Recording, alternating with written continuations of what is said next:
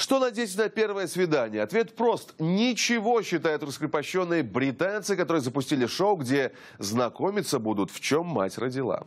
Передача под названием «Голое притяжение» выходит на четвертом телеканале Channel 4. Участникам предлагают выбрать партнера из шести человек, при этом все кандидаты без одежды. Каждой паре дается 30 минут, чтобы узнать друг друга и решить, стоит ли встретиться вновь уже одетыми.